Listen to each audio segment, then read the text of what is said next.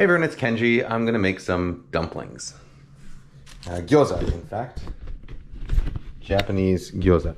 This is a thing that I have, this is the thing that I've made more than any other thing in my life, probably. Um, I started making gyoza when I was like a toddler, like, you know, four years old or something, maybe younger. Um, you know, my, my mother is Japanese, and what we would do is uh, she would sit me and my two sisters down in front of the TV, you know, in the living room.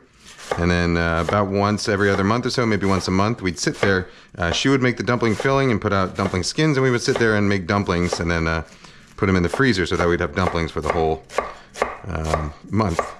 Cook them straight from frozen, very convenient. Um, oh, so what I'm doing here, I got equal parts pork, a pound of pork, ground pork, nice and fatty, uh, and ground cabbage. You could also use like ground chicken if you want ground turkey, um, and ground and uh, and a pound of cabbage. This is just a green cabbage. Um, usually I use something like Napa cabbage or maybe like a Hong Kong style uh, cabbage, but this is what green cabbage is what I had in my fridge today, so I'm using that. Might be just shy of a pound, but you want roughly equal parts cabbage and pork for this. Um, now the cabbage, it acts not not just as a flavoring agent, but really it acts in the same way that say something like breadcrumbs would in a meatball or a meatloaf. You know, it's a uh, it adds bulk to it, but it also prevents the um, the interior, the sauce, the uh, dumpling filling from becoming like a a sausage. You know, we don't want sausages in there. We want nice, tender, juicy filling. All right, so I've just cut it into, you know, roughly chopped it. You can do it by hand like I just did. You can do it in a food processor. Doesn't really matter. What I'm gonna do now is take my cabbage, put it into a bowl. Now cabbage has a lot of water in it. You know, like most vegetables, it has a lot of water. So it makes it so turgid. Um, so I'm gonna take some of that water out. We wanna get rid of it.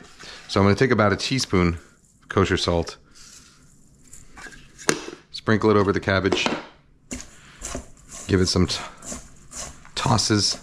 And then through the power of uh, osmosis, that salt is going to draw liquid out from inside those cabbage cells.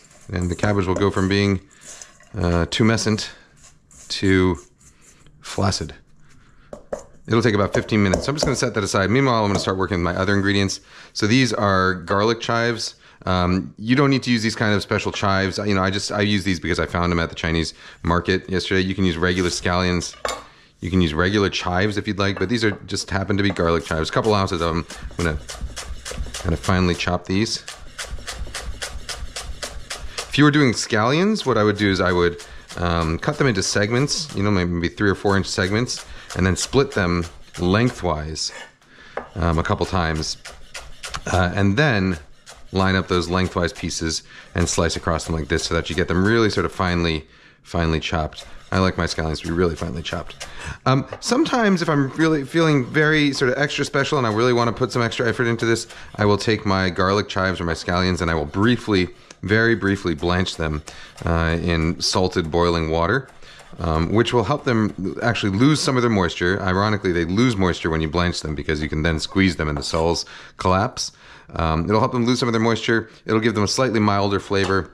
Um, it, it's really kind of you know it's one of those things that takes a bunch of extra work and really only uh, you know incrementally adds to the quality of the finished dumplings. So if you want your dumplings to be like three or four percent better, you can briefly blanch your garlic chives or your scallions, squeeze them out really well, and then add them to your pork. Okay, so this pork, um, I know I had a pound, which is about uh, 450 grams. To that, I want to add 2% salt, so 9 grams of salt. So for that, I am going to use a scale.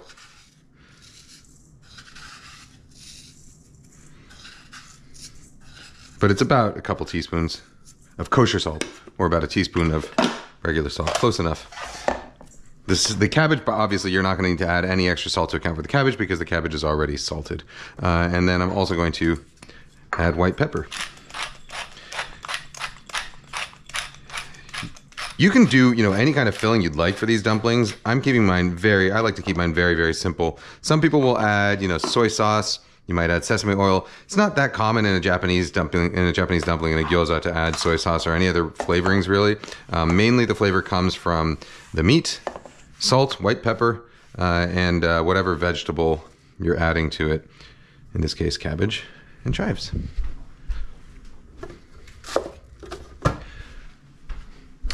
Now, if you, again, if you wanted to go all out, you could make your own dumpling skins. Um, but Japanese dumplings um, are often made with uh, store-bought skins. You can buy these round gyoza wrappers, um, and that's what we always used growing up. That's what my mother used, my grandmother used, uh, and so that's what I use now. Sometimes I will make homemade skins, but usually I'll reserve the homemade skins if I'm making more, you know, Chinese-style dumplings. Okay. Uh, this cabbage is going to sit for about 15 minutes. You will see the liquid come out. In fact, you won't, but you will see the, the cabbage after the liquid has already come out. So I will be back in five minutes or so. You know, I came back. I decided today for funsies, for funzo, I'm going to add a couple other things. So I'll add a little bit of garlic in here. Um, again, not necessary, but I have a ton of garlic in the fridge, and uh, I'm leaving for Christmas break soon, so uh, I want to get through it. All right, garlic. Give it a smack. Smack. You know, my mom, when growing up, in fact, most of the time, we actually had beef dumplings um, because my mom was very frugal, and um, you know, we lived in uh, Morningside Heights in an, in an area of um, Harlem that. At the time, you know, in the early 80s, mid 80s, was a sort of meat packing district. You know, so a lot of butcher shops, um, a lot of meat packing uh, facilities there. Uh, and so sometimes um, I'm sure I've told this story before for people who follow the channel, but sometimes what would happen is we'd be, you know, driving and we'd stop at the light at 125th Street and uh, Broadway, and uh, at that light, there was uh, always somebody who would wash your windows. You know, always someone who would want to clean your windows, uh, and then oftentimes there was a guy who would come by with a cooler of uh, frozen meat that uh, I think I think the guy worked at one of these meat processing plants and would you know steal it out of the loading dock and come and sell it on the street. Um, and so we would often buy, you know, steak or ground beef or whatever from the uh, from a guy with a cooler at a stop sign at a stoplight. Um, and so my mom always had a lot of we had a lot of ground beef in the house growing up. That was like the main meat was ground beef. Um, oh, by the way, a couple cloves of garlic I'm going to slice this ginger. I'm not going to bother peeling it because this ginger peel is very, very tender. Um, but I am going to smash it. until it's like obliterated, and then you just chop it up. Um, so anyhow, we had a lot of ground beef. Um, my mom would sometimes use it to make things like, you know, spaghetti and meat sauce, um, meatballs, whatever. But uh, very often she would use it for dumpling fillings, mapo tofu and dumpling fillings. That's where it usually ended up, and those were my two favorite dishes growing up, and still my two favorite dishes now. Uh, mapo tofu traditionally is made with beef. Um, gyoza typically not, but we made them. Made, we made them with beef because that's what we had. Now we're gonna need another couple minutes, so I will be back in a few minutes later. All right, so it's been about 15 minutes total. Um, by the way, last thing I'm adding to this dumpling filling, I apologize for doing this in steps. A little bit of sugar. Um, all right, so the dumpling filling, just as a reminder, a pound of pork, a couple of ounces of chives or scallions, a couple so far in here, a couple of garlic cloves, about a teaspoon of minced ginger, uh, about uh, nine grams of salt, um, a little bit less. Nine grams of salt is going to be pretty salty, um, so you can do less than that if you want. You know, you can do something more like six grams if you like sort of only a moderate salt level.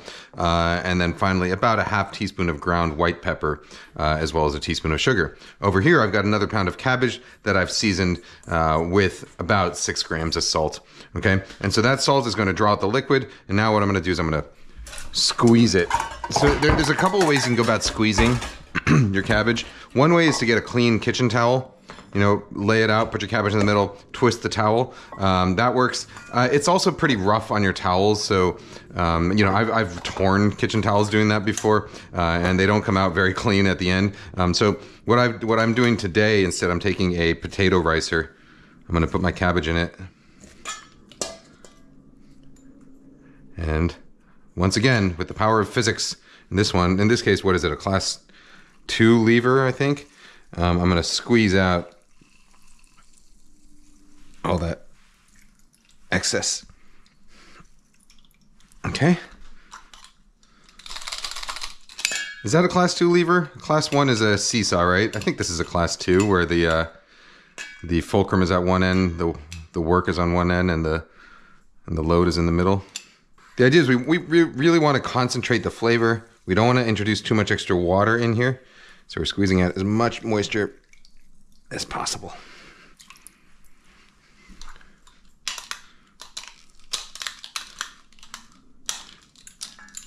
If you ever want this written recipe, by the way, or at least a uh, a version of this, you know, I never follow exact recipes on this on the YouTube channel, but if you want a actual written, tested cross-tested, published version of this recipe, um, you can find it for free on Serious Eats. I always encourage people to do free stuff if they can't afford to support me in other ways. Um, you can find it for free on Serious Eats. You can just follow along in the video, um, or you can find it in uh, my book, The Wok, which also has lots of other recipes that are well worth, at least according to the reviews on Amazon, everything is well worth the price of admission in this book. All right, that's my plug for the day. Okay, so now we're gonna go in here with our hands and we really wanna kind of knead it all together. Do you need to knead it? Uh, yes, you do need to. Um, it, we're doing more than sort of just thoroughly combining here. You know, the idea is not just to evenly distribute the um, pork and the cabbage and, and all the seasoning and stuff. That's part of it. But really, um, we also want to uh, make sure that the, the proteins in the pork um, start to become sticky. You know, the, the more you buy, the more you the, the more you work at it like this, the more mechanical action you take on them. Um, the the proteins, which are sort of like you know tangled up little balls of yarn, as you knead them like this, they start to detangle um, and start to cross link with each other, and that's what's going to make sure that the filling is cohesive. Now, if you did this without all the uh, filler, you know, without all the cabbage and the other vegetables and stuff, um, you would end up with something like sausage. You know, sausage uh, is mainly meat and fat, some seasonings, but usually doesn't have a lot of what are called inclusions, you know, other vegetable matter, things like that. Um, and so sausages end up actually very, very sticky because the proteins really tightly bind together. And so that's why a sausage um, has that sort of springy, bouncy texture to it. Um, it's all through the action of meat and salt. In fact, even the name for sausage comes from the word for salt. You can't make a sausage without the salt. At least not a good one. All right, there's our dumpling filling. I'm gonna transfer it to a smaller bowl. In fact, I'll just use this bowl.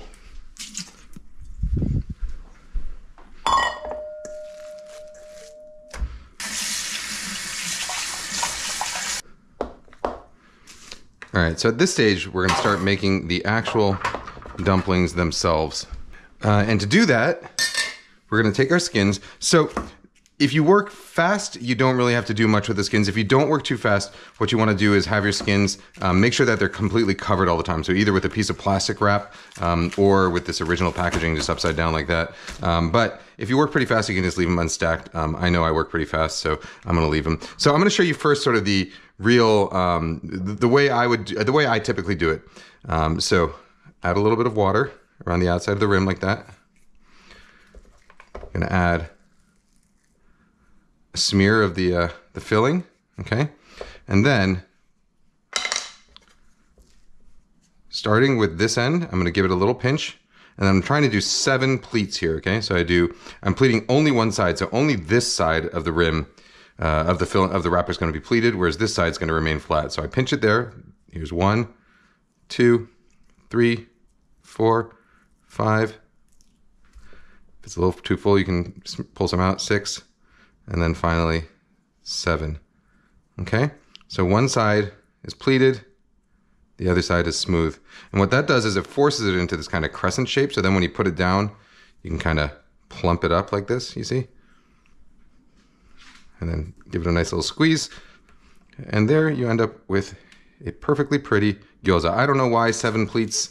Um, that's just what I was always taught when I was a kid, make seven pleats you know, um, and so I do it.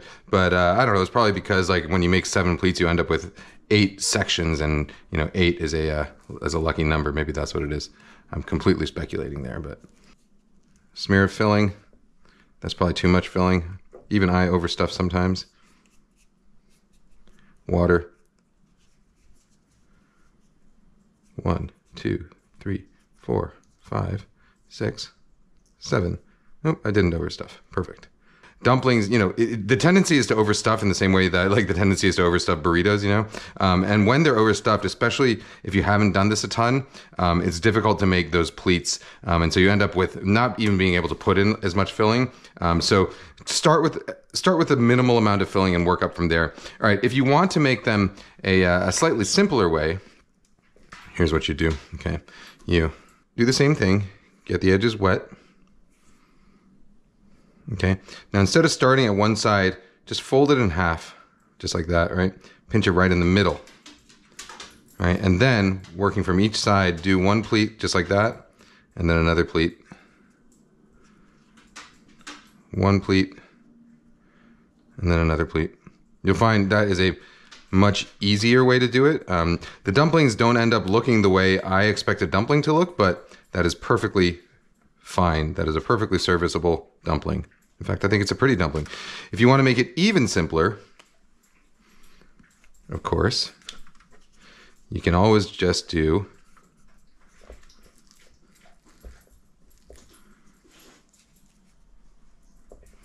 something like this. Boop. Just the way you'd make a, I don't know, a pierogi. Just like that. Fold it in half, right? And if you want to make that a little bit prettier, or if you say you're going to put it into like a soup or something, you're going to boil it or steam it, um, and you're not going to bother frying it. The other way you can make that prettier is start by um, putting a little, start with this shape, put a little bit of water there, and then pull these ends together and pinch them there, and you got essentially what you've got like a like a capellini, you know, or what they would call a water caltrop shape. Um, that's that. All right. Um, and if you don't want to do any any of those things, you can do like what my daughter does, which is just randomly fold the fold the dough into various shapes with some amount of filling, or sometimes no filling at all. Um, and uh, yeah, the, you know, no matter how you do it, it's going to come out delicious. Um, I'm going to finish making these dumplings. You'll see, I'm putting them on this um, uh, on this tray right here. What I'm going to do is I'm going to line up this whole tray with dumplings, and then I will throw the whole thing into the freezer uh, and leave it there for a couple hours. And then tonight, I'll come pick up the dumplings, put them into a bag, and they will be ready to go. You know, they'll be good in the freezer for about a month, and you can cook them directly from frozen. The brand, you know, there, there is some variance in the brand, but generally you're stuck with what you can find at the supermarket. Um, so, you know, just go with whatever, go, go with whatever you can find. Uh, and, uh, it'll work. I've never found a brand that doesn't, you know, that literally doesn't work. Some are thicker than others.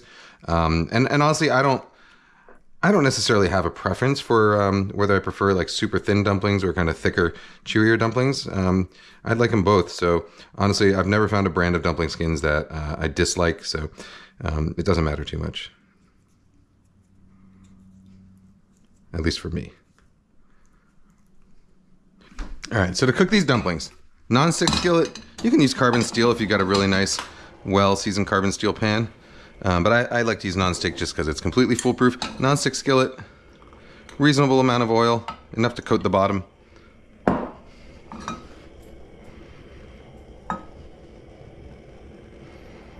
Okay, we are going to fry, we're doing this in what's called the pot sticker style, so um, the bottoms are going to be fried, uh, the tops are going to be steamed, and so you get that combination of textures, hard and soft, crispy and tender.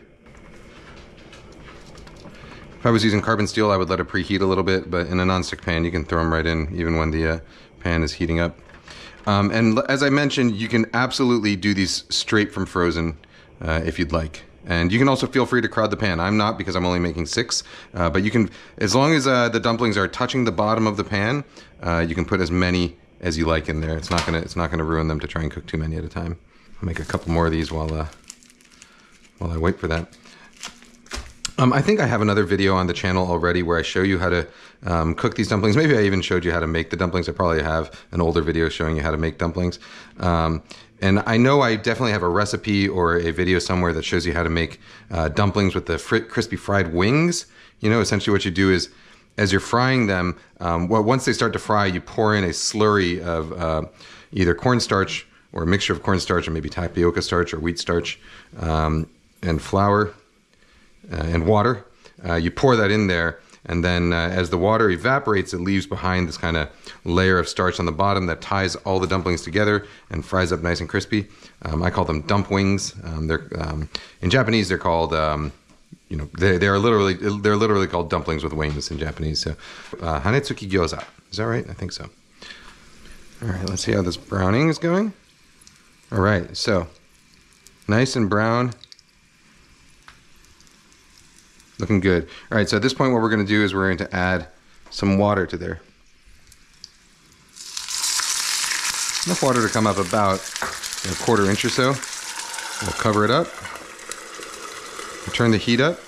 And now what's gonna happen is that water is obviously evaporating, bubbling, uh, and as the water evaporates, it's going to steam around there, it's going to cook the dumplings, and then eventually all that water is going to evaporate away, leaving just the dumplings in the oil once again, and at that point we will re-crisp it. That's going to take probably four to five minutes, um, so I will come back in three or four minutes, all right? So I can hear from the sound of it uh, that most of the water has evaporated. It's starting to crackle and sizzle now, um, so I'm going to take the lid off. In fact, yes, the water has all evaporated. So at this point, give it a little shake.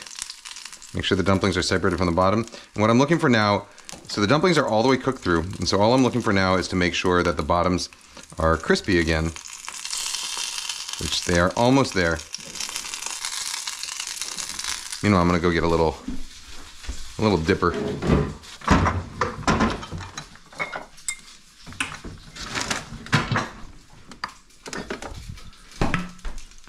I'm gonna do these um, for dipping. I'm gonna do a little combination um, of soy sauce and rice vinegar, which is the way, uh, which is the way we did it growing up. Um, although you know you can use something like Chinese black vinegar just on its own. Oops, a little bit more soy sauce than I wanted, but that's all right. I would do generally do about 50-50 soy sauce, rice vinegar. Um, that's the way we did it at home. Uh, you don't have to do it that way, of course. All right, let's take a look at how crispy these are. Woo, look at that, beautiful. You see that?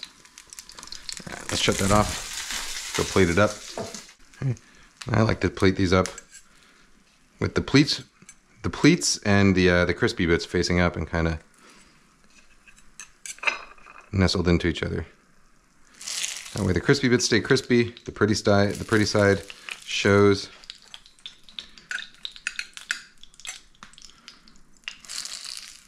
everybody's happy. Woo, that got really inflated, huh? Got a little balloon.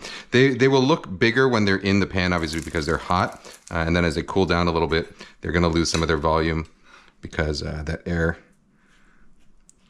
uh, is going to lose volume as it cools down.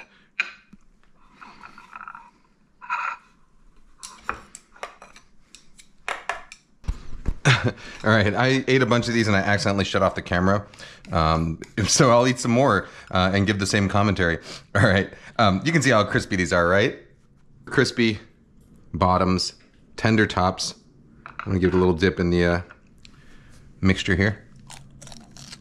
Hmm. Filling is uh, springy, uh, juicy, and tender. Mm, plenty of good flavor from that uh, cabbage and chives. I am double dipping, and I'm aware. Man, yeah. Dumplings are so good. There's a reason these are my favorite food. Right, Hamon? All right, bud. You can have the last bite.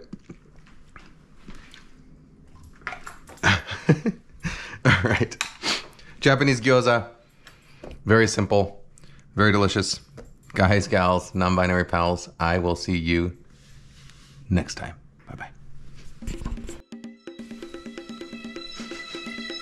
Think someone just farted.